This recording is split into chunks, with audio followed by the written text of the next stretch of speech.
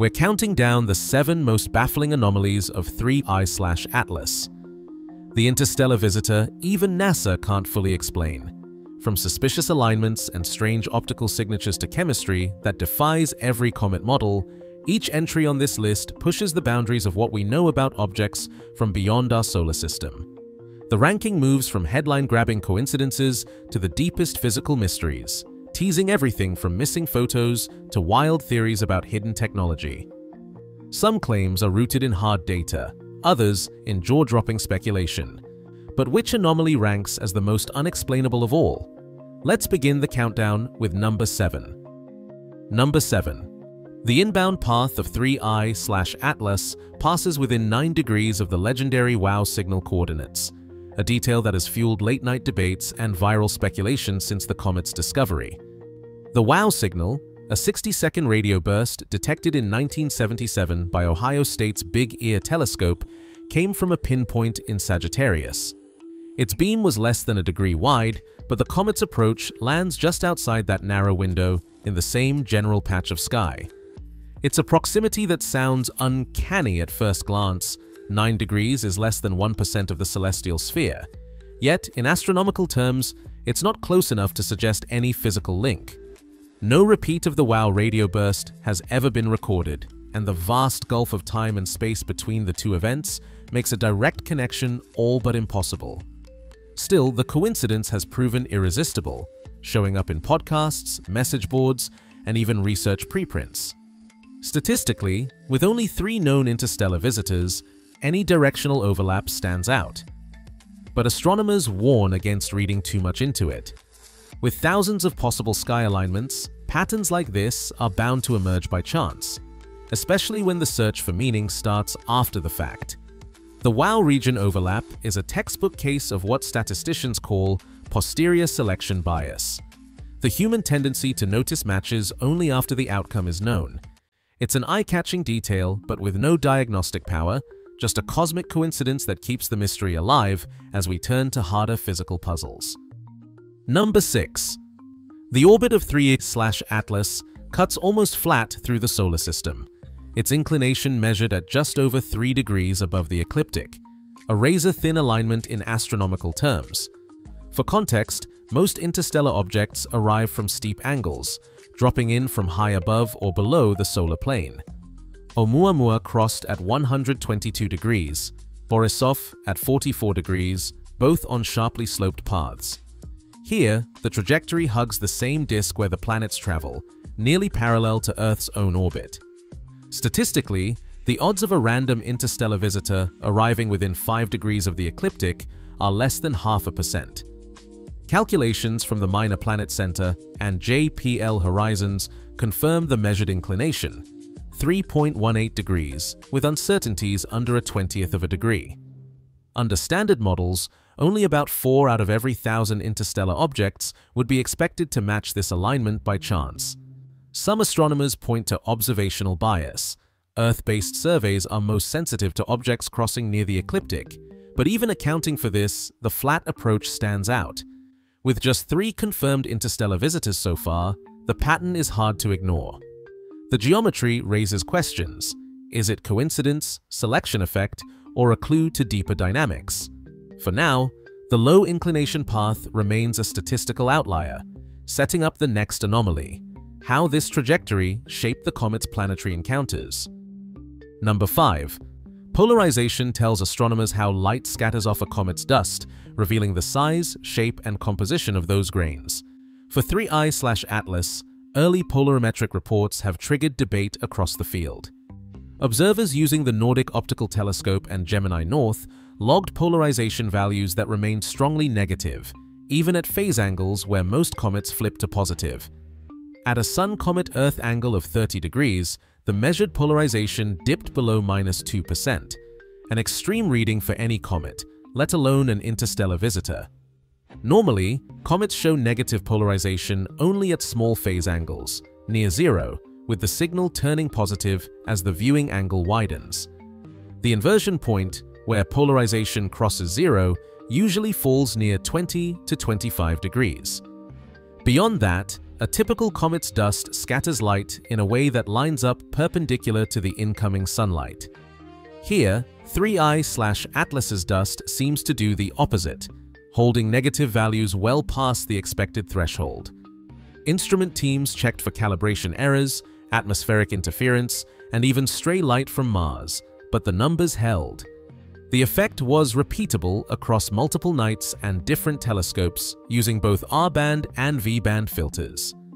Such persistent negative polarization hints at dust grains with unusual structure, perhaps large fluffy aggregates, or a composition richer in carbon or complex organics than most solar system comets. Some researchers draw parallels to rare carbon-rich comets seen decades ago, but even those did not sustain negative polarization at such wide angles. The anomaly remains provisional, pending further campaigns and peer review, but the data have already shifted the conversation. If confirmed, these optical properties could mark 3I-Atlas as chemically distinct, setting the stage for the next anomaly, what its dust is actually made of. Number 4. Spectroscopic surveys of 3I-Atlas have revealed a chemical fingerprint that refuses to fit the standard comet template. Early spectra from ground-based telescopes showed strong emission lines of neutral nickel, Ni at 3,414 angstroms, while the usual signatures of iron, especially FeI, were almost absent. In typical solar system comets, nickel and iron appear together, their lines rising and falling in tandem as the nucleus sheds metal-rich dust. Here, the nickel lines were clean and persistent, but iron lagged behind the noise floor, barely detectable even in stacked exposures.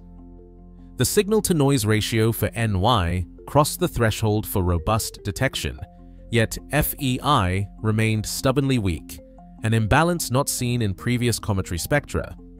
Analysts combed through the raw data, checking for calibration errors and atmospheric contamination, but the pattern held across multiple nights and instruments. The standard cometary bands, C2 and Cn, were present but subdued, suggesting a dust and gas mix richer in metals and poorer in volatile organics than most known comets. This composition, if confirmed by follow-up with the James Webb Space Telescope, would mark a sharp departure from the norm. Metal-rich iron-poor comets are rare even in the outer solar system, and virtually unknown among interstellar visitors.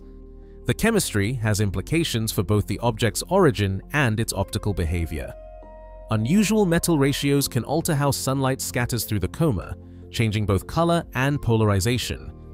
If the nickel dominance is intrinsic, it could point to formation in an environment with radically different stellar nucleosynthesis, or to selective processing as the object traveled through interstellar space.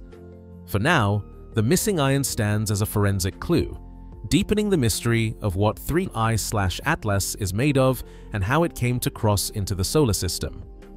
Number 3. The most visually arresting feature of 3i slash Atlas is a plume that appears to stream forward toward the Sun a geometry that upends the textbook image of a comet. In standard cometary physics, the solar wind sweeps dust and gas away from the nucleus, sculpting a tail that always points anti-sunward, no matter which way the comet moves. But here, time series imaging from Gemini South and the Nordic Optical Telescope captured a faint, fan-like extension jutting sunward, almost as if the comet were venting steam from its leading edge. The effect is not just a trick of the eye, Analysts trace the plume's orientation across multiple nights, factoring in the comet's rotation and the shifting angle of sunlight. The forward jet held steady, even as the overall coma brightened and the main tail began to unfurl behind. Projection effects can sometimes invert a tail's appearance, creating so-called anti-tails when Earth's line of sight slices through the comet's orbital plane. But here, the geometry defies easy explanation. The plume's alignment with the Sun-comet axis persisted through a range of phase angles, resisting the usual explanations tied to perspective or orbital tilt. Some researchers have pointed to rare precedents, comets with active vents near the subsolar point or with jets triggered by buried pockets of volatile ice, but even these cases rarely produce a forward-facing fan so distinct at this distance from the Sun. The mechanics of such a jet raise deeper questions. If outgassing is strong enough to launch dust sunward, why doesn't the solar wind immediately sweep it back? Is the nucleus spinning in a way that channels jets along its orbital path, or is there a transient vent exposed only at certain rotation phases? The time series models suggest a stable, repeating pattern, not a random outburst. That regularity has fueled speculation well beyond mainstream comet science. Fringe forums and UFO enthusiasts have revived the old sun siphoning hypothesis, proposing that the object could be drawing energy directly from the solar wind or even the sun itself, a claim with no support in current physics, but one that lingers in the cultural conversation. For astronomers, the forward jet is a testable anomaly.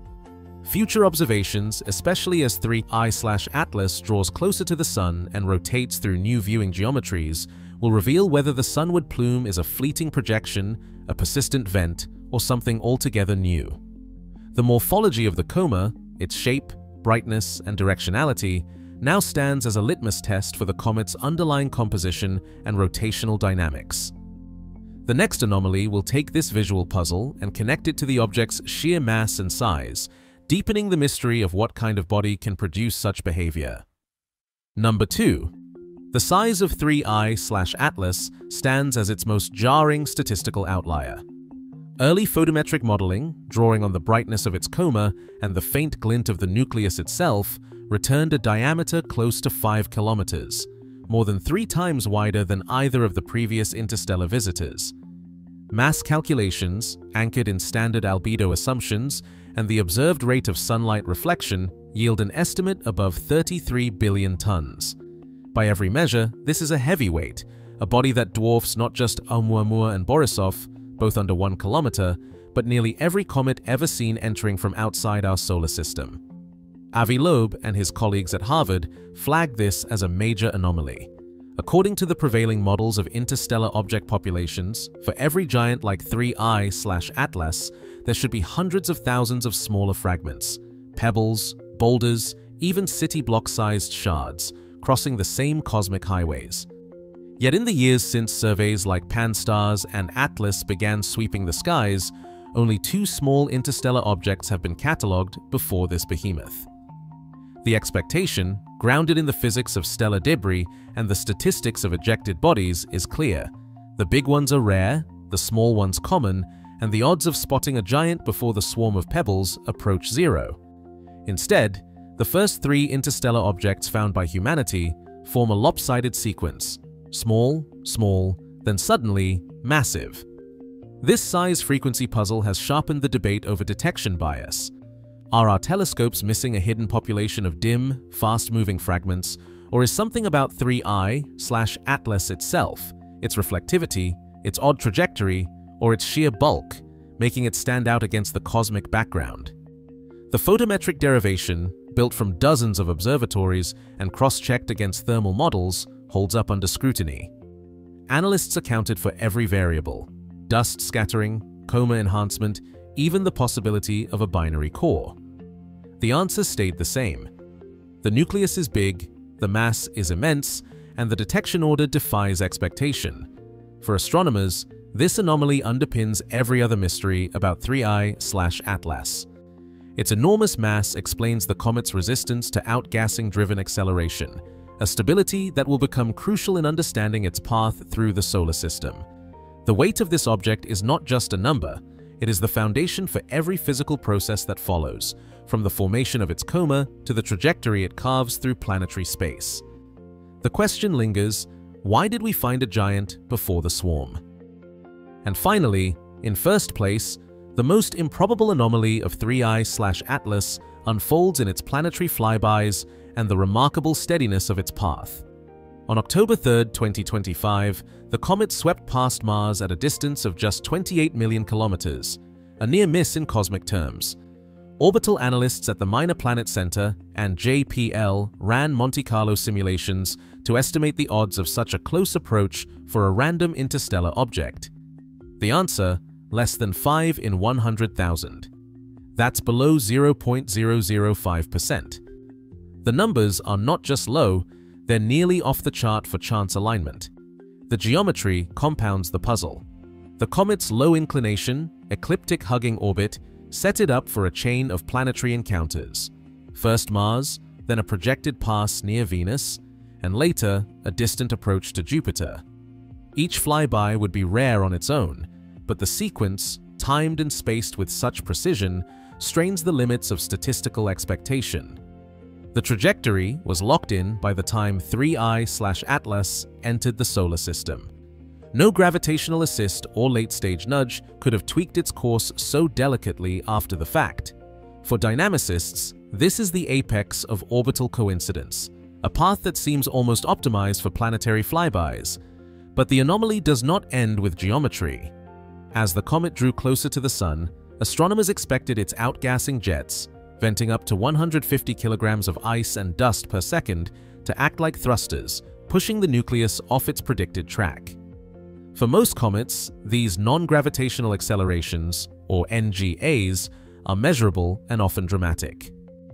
2I-Borisov, the previous interstellar visitor, showed NGA shifts near 100 kilometers per day. Hale-Bopp, a solar system giant, clocked in at over 10 kilometers per day at peak activity. Even Oumuamua, with its mysterious acceleration spikes, veered by up to 1,000 kilometers per day during its brief pass. 3i slash Atlas, by contrast, barely budged. Across months of astrometric tracking, data from 227 observatories worldwide, the reported NGA stayed below 15 meters per day squared, that's less than a tenth of a percent of Borisov's drift and orders of magnitude below the wild swings seen in Oumuamua. The comet's path remained a ruler straight arc through space, unaffected by the jets boiling from its surface. The only way to reconcile such minimal deviation, given the measured outgassing, is with mass, immense mass. The nucleus, estimated at over 33 billion tons, absorbs the force of its own jets without flinching, like a freight train rolling through a gust of wind. Some theorists, led by Avi Loeb's group at Harvard, see a different possibility. Guidance. When the flyby sequence, the ecliptic alignment, and the unwavering trajectory are stacked together, the result is a case study in improbability. Could a natural object, however massive, thread such a needle by chance? Or is there a deeper mechanism, unknown physics or even intent, at work? For now, the scientific consensus holds to mass and luck, but the debate is far from settled. The optimized flybys and low NGA form the keystone of the 3i slash Atlas puzzle, closing the circle of anomalies and teeing up the next wave of observation and speculation as the comet's journey continues. From the curious overlap with the famed WOW signal to the astonishingly steady, massive trajectory at the top of our list, these seven anomalies make 3i slash Atlas stand out from any comet we've seen. Across all entries, a pattern emerges. 3I-Atlas consistently defies expectations, whether it's its near-perfect ecliptic alignment, rare chemistry rich in nickel but low in iron, or the sunward jet that challenges textbook comet behavior. Yet, it's the combination of a giant nucleus, five times larger than prior interstellar visitors, and its improbably optimized planetary flybys with minimal non-gravitational acceleration that truly set it apart. Each item earned its place by being statistically rare or physically puzzling compared to known comets and even other interstellar objects. Together, these anomalies reveal just how little we understand about what drifts between the stars and how much discovery still awaits. 3i slash Atlas isn't just another space rock, it's a reminder that our solar system remains open to cosmic surprises.